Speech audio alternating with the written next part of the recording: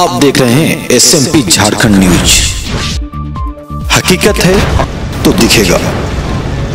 क्योंकि ज़ाहिर सी बात है मेला लग नहीं रहा है बच्चों का कुछ वैसा कुछ क्रिएटिविटी उतना कुछ दिख नहीं रहा है हम लोगों झूले नहीं है और जो भी बच्चों को खिलौना वगैरह कुछ भी वैसा अच्छा तो। होता कि रांची के जो प्रशासन की गाइडलाइन है उसमें रांची में पूजा करने का परमिशन नहीं देना चाहिए था।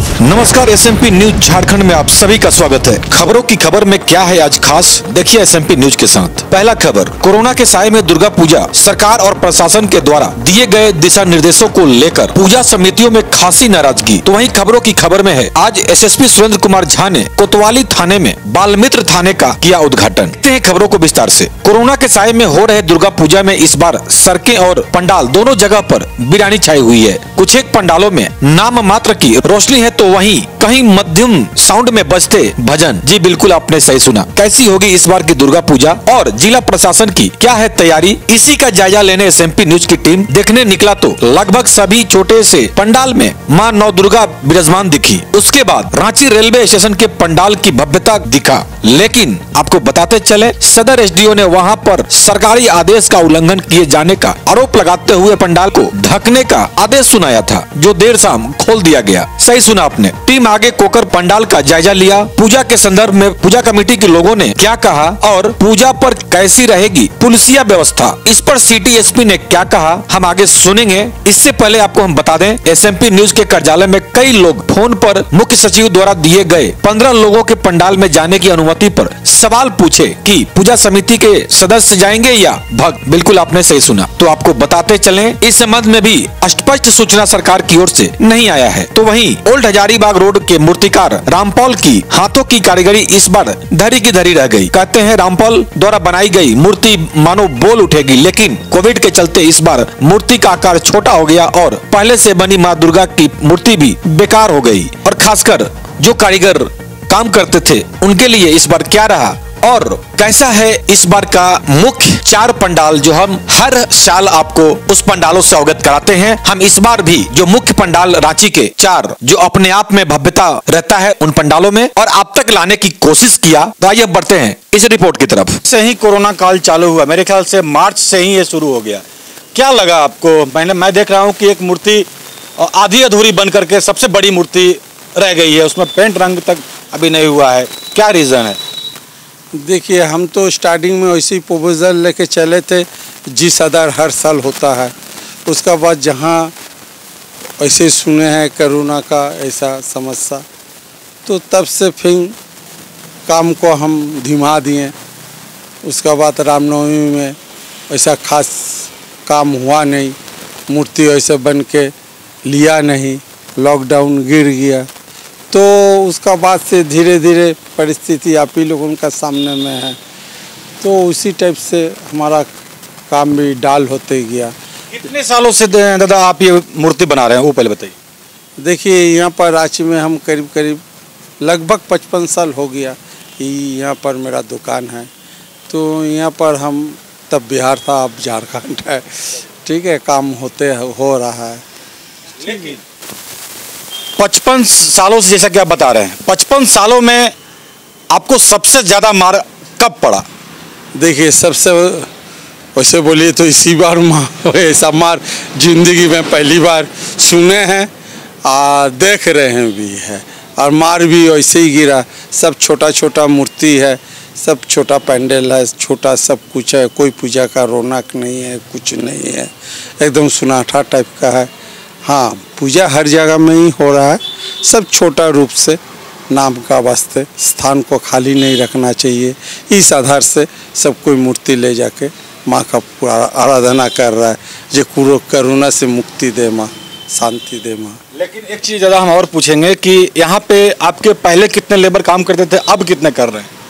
देखिए लगभग सत्रह अठारह उन्नीस बीस लास्ट तक हो जाता था लेबर। हाँ तो मगर इस बार चार गो लेबर है। बस। चार गो लेबर से काम करवा रहे।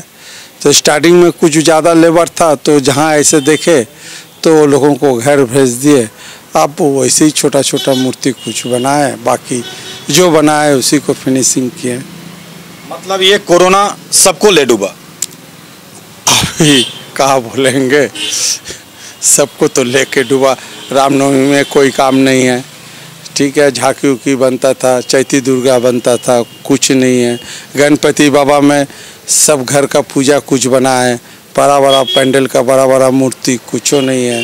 विश्वकर्मा भगवान का भी वही हालत है, सब छोटा छोटा कुछ मूर्ति लेके भाई लोगों पूजा किया है। सबका डामाडोल है सब कोई आके रो रहा है, हम भी रो रहे हैं, क्या करें? चलिए चलते चलते माता रानी से क्या दुआ मांगेंगे? माता रानी से इस बार हम लोगों का सब कोई का खाली हमारा अकेला नहीं। हे माता रानी, करुणा से मुक्ति दे।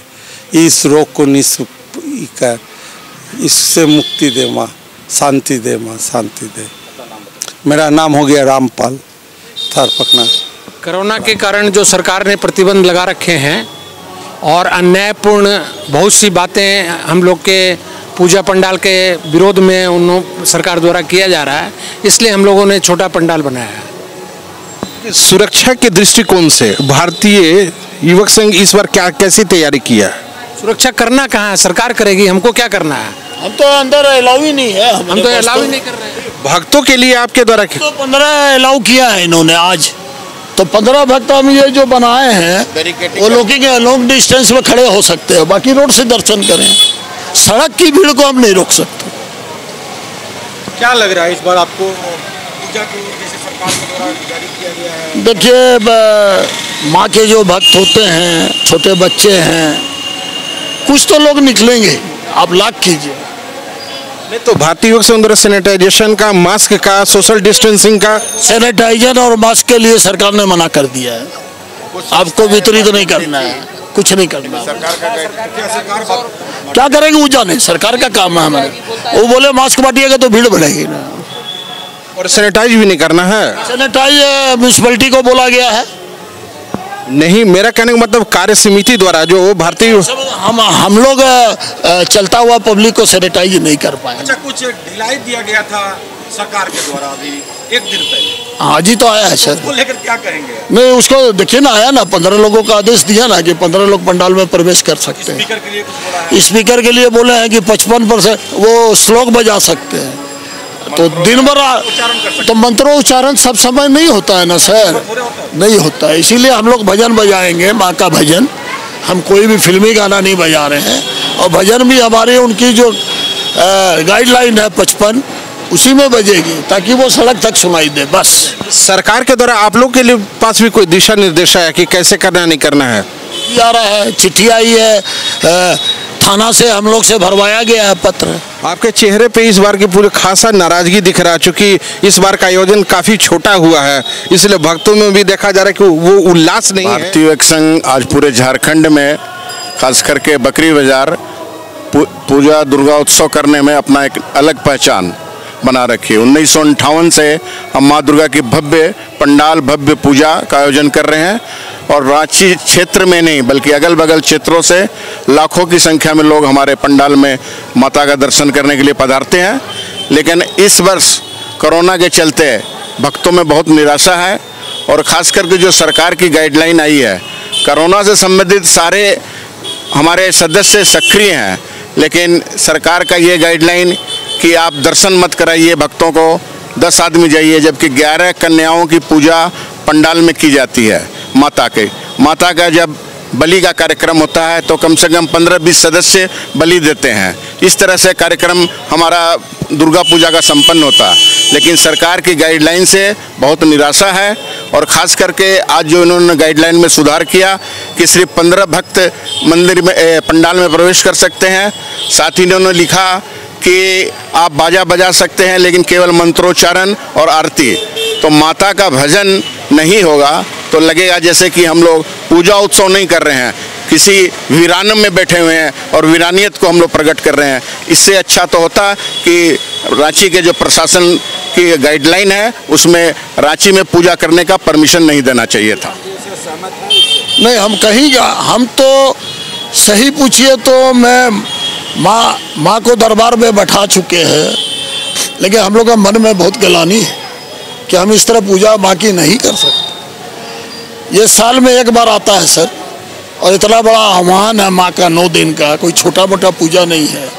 ठीक है, हमें एक संतोष है कि हमारे बगल में दुर्गा मंदिर है जहाँ हम सालों भर पूजा करते हैं। लेकिन फिर भी हमें संतोष नहीं देखिए, सरकार का नियम सरकार के लिए थोड़ी होता है, पब्लिक के लिए होता है। आज प्रेस वाले हैं आप अगर कुछ अगेंस्ट में लिखिएगा तो हो सकता है आपके पीछे भी लग जाए। अगर क्राउड बढ़ता है तो ऐसे में आपका प्रबंधन समिति कैसे उसके रोकने कोई भी क्राउड सरकार का है। हमारा कोई दायित्व नहीं है। हमारा पूजा पंडाल के अंदर जो लोग दर्शन करेंगे वहाँ तक हमारा दायित्व है। बाहर रोड की पब्लिक के लिए हमारा कोई दायित्व नहीं है बाकी सरकार जाने सरकार का काम जाने। देखिए इस बार जो दुर्गा पूजा हो रही है उसमें दो महत्वपूर्ण बिंदु है। पहला तो यह है, कोविड को लेकर के हम लोगों को स्पेशल सतर्कता बरतनी है। और दूसरा विधि व्यवस्था जो कि हर बार दुर्गा पूजा में ध्यान रखनी होती है, उसका ध्यान रखना है। दोनों दृष्टिकोण से हम लोगों ने जो तैयारी की है एक तो जो पूर्व में डिप्लॉयमेंट होता आया है, पंडाल के हिसाब से डिप्लॉयमेंट हमने किया हुआ है। सीसीटीवी कैमरा इंस्टॉल किया जा रहा है ड्रोन और अन्य टेक्नोलॉजिकल तरीके से भी निगरानी होगी। इसके अलावा हम लोगों ने जो हमारे हाईवे पेट्रोल हैं, उनको भी कुछ अंदर किया हुआ है। ताकि शहर में जो पुलिस की जो ये विजिबिलिटी है वो बढ़े। इसके अलावा मोटरसाइकिल पार्टी हमारी रहेगी और सादे लिबास में भी लोग हमारे रहेंगे जो कि सुरक्षा को तन, तंदुरुस्त करेंगे। सर नो एंट्री को लेकर। देखिए इसमें नो एंट्री जो रहेगी उस समय जैसे कि हम लोग एग्जिट पॉइंट जो हमारे हैं उस पर हम लोग विशेष ध्यान रखेंगे क्राइम को लेकर के।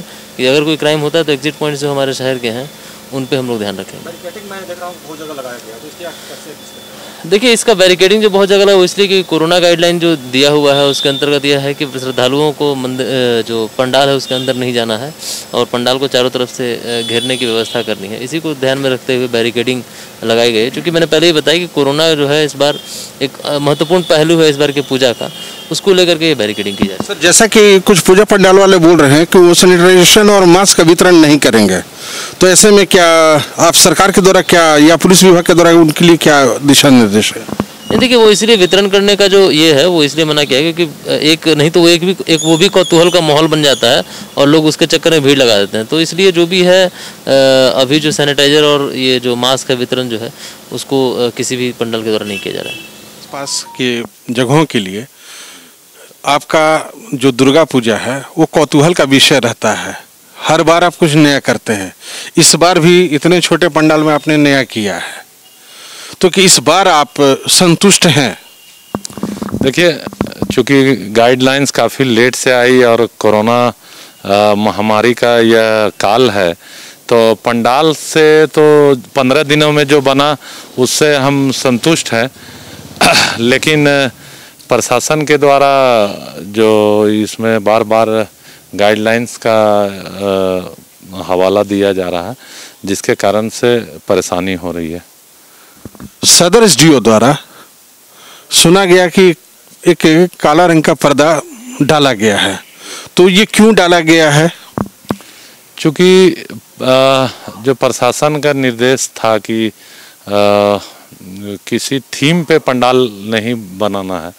तो जैसा मुझे उन्होंने बताया कि किसी थीम पे नहीं बनाना है लेकिन इसमें आपने कलाकृति की है। तो उसके लिए स्पष्टीकरण मांगा गया था तो वह मैंने स्पष्टीकरण लिखित रूप में उन्हें उपलब्ध करा दिया। देखिए हमारा तो यही कहना है कि जैसे आज कुछ चीज़ें हैं जो चीज़ें स्पष्ट रूप से समझ में नहीं आ रही हैं। आज सुबह जो सारे न्यूज़ चैनलों में न्यूज़ पेपरों में जो खबर आ रही थी कि पंद्रह लोगों को पंडाल के अंदर आने की अनुमति है। तो उसमें यह स्पष्ट नहीं किया गया है कि वो पंद्रह लोग सिर्फ़ समिति के लोग रहेंगे या आम श्रद्धालु रहेंगे। और अगर आम श्रद्धालु पंद्रह लोग आ सकते हैं तो फिर उसको सोशल डिस्टेंसिंग का हम ख्याल रख रहे हैं कि नहीं, अगर हम कोई सोशल डिस्टेंसिंग के नियमों को या कोरोना गाइडलाइंस को अगर हम उल्लंघन करते हैं, उस उस पर अगर कार्रवाई होती है तो उसमें हमें कोई एतराज़ नहीं है। लेकिन यह स्पष्ट नहीं है कि कौन पंद्रह लोग आएँगे। तो एक चीज़ बताइए मुंजोरा जी, यहाँ आपने क्या व्यवस्था कैसा कर रखा है? अगर क्राउड बढ़ता है। चूँकि आपके पंडाल की चर्चा चहु ओर है, ऐसे में अगर क्राउड बढ़ता है तो उनकी भक्तों की सुरक्षा के लिए आपने क्या तैयारियाँ कर रखी है? देखिए यहाँ से दो मार्ग हैं जिससे कि आप इस पंडाल के अंदर में आ सकते हैं। तो एक मार्ग को हम लोगों ने बंद कर दिया है और एक मार्ग में हम लोगों ने ड्रॉप गेट बनाया हुआ है। और लोगों से हम अपील भी कर रहे हैं कि भीड़ ना लगाएँ। अगर आप देखे होंगे कि यहाँ पर लगभग कम से कम एक हज़ार आदमी डिस्टेंसिंग के साथ यहाँ पर खड़े रह सकते हैं और पंद्रह पंद्रह लोग करके जा सकते हैं। हमने इस तरह से इसको घुमावदार बनाया है, जिग जैग सिस्टम से बनाया है कि लोग यहाँ आएँगे तो वो चलते रहेंगे और माँ के पास पहुँच जाएँगे। माँ से पंद्रह फीट की दूरी भी रहेगी और माँ का दर्शन करते हुए वह निकल जाएँगे। आप बाहर भी देख सकते हैं हमारा। पिछले बार से ही रेलवे द्वारा यह जगह हमें दी गई है और इस वर्ष भी यहीं पूजा हो रही है आने वाले वर्षों में भी यहीं पे पूजा होगी। मुंशुन राय अध्यक्ष रांची रेलवे स्टेशन। जी अध्यक्ष पहली बार हुए यहाँ का राजू राम जी और ये चौवनवा साल है पहली बार नहीं हो रहा है। इससे पूर्व तो चंचल चटर्जी द्वारा किया जाता था। ये थे तो हम लोग का सर्वसम्मति से यहाँ पे बैठक हुआ। मोहल्ला वासियों ने बैठक किया उसके बाद सर्वसम्मति से राजू राम को अध्यक्ष चुना गया। एक बात बताइए यहाँ पर बिजली बत्ती की व्यवस्था काफ़ी ज़्यादा की गई है जबकि जिला प्रशासन द्वारा लाइट बत्ती ज़्यादा लगाने का आदेश नहीं है। तो सर यहाँ पे ऐसा हम लोग ज़्यादा नहीं किए थे वो जो पीपल पेड़ में जो लगा हुआ था ग्लोब वो सिर्फ़ हम लोग बंद करवा दिए। वो बोले कि ग्लोब नहीं और तो लाइट लगा हुआ नहीं एक स्कूल में राइस लगा हुआ बाकी जो मंदिर का साज सज्जा अलग हुआ है और कहीं हम लोग ऐसा लाइट का व्यवस्था नहीं किए जो ज़्यादा है। एक चीज़ बताइए जैसा कि आपको पता है कि कोविड महामारी है ऐसे में आप लोग क्या जो भक्तों की सुरक्षा के लिए सारी तैयारी कर ली है? हम लोग भक्तों की सुरक्षा के लिए भक्त तो यहाँ ज़्यादा आएँगे नहीं और वहाँ पे हम लोग ब्लॉक रखेंगे। वहाँ अंदर किसी को जाने नहीं देना है। परिचय आपका? मेरा नाम वशिष्ठ लाल पासवान व कोकर दुर्गा पूजा कमेटी का सचिव। जो दुर्गा पूजा हुआ था देखा जा रहा था कि बच्चों में काफ़ी उल्लास था। इस बार के पूजा में देखा जा रहा है कि बच्चे काफ़ी मायूस दिख रहे हैं। ऐसा क्यों? क्योंकि इस पहले जैसा अब वैसा कुछ रहा नहीं, क्योंकि ज़ाहिर सी बात है, मेला लग नहीं रहा है, बच्चों का कुछ वैसा कुछ क्रिएटिविटी उतना कुछ दिख नहीं रहा है, हम लोगों झूले नहीं है, और जो भी बच्चों को खिलौना वगैरह, अब कुछ भी वैसा रहा नहीं, और अनसेफ है, अगर आप निकल भी रहे हो तो बहुत अनसेफ है, इसलिए निकलना भी सही नहीं है अरे सड़कें काफ़ी सुनी सुनी लग रही है है ना तो उस पर क्या कहेंगे आप? ऑफकोर्स निकलना नहीं ही अच्छा है घर से, क्योंकि कोविड इतना ज़्यादा फैला हुआ है। अगर उससे लोग संक्रमित हो रहे हैं तो बेटर है कि वो लोग घर पे रहे और पूजा घर से करें या पंडाल से, श्रद्धा मन में होनी चाहिए तो वो ज़्यादा बेटर है।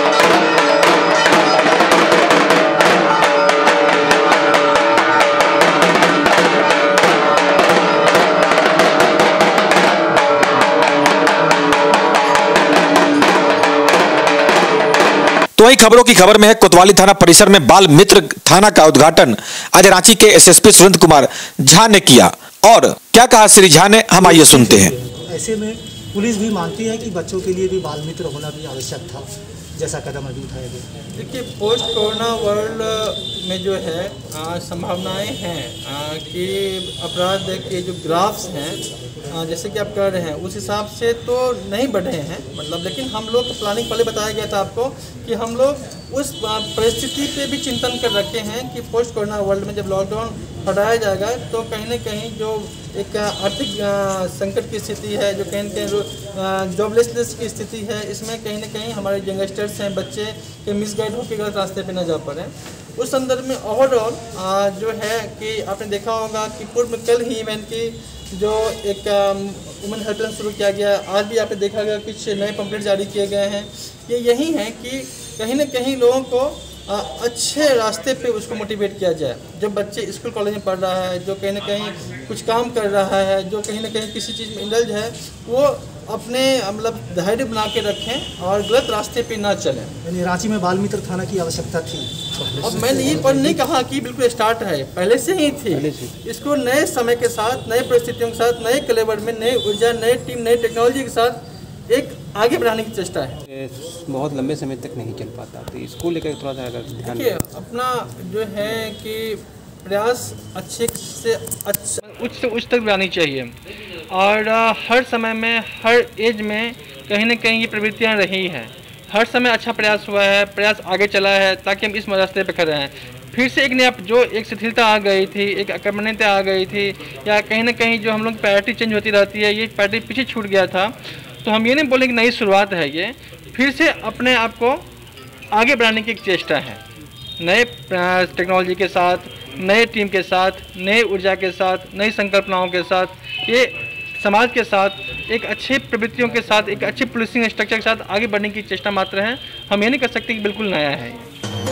तो अपना ख्याल रखें, क्योंकि आपसे हैं हम। लेटेस्ट अपडेट के लिए चैनल को सब्सक्राइब शेयर लाइक करना ना भूलें, और बेल आइकन का बटन ज़रूर दबाएँ, ताकि आपको लेटेस्ट अपडेट मिलता रहे। धन्यवाद। जय हिंद।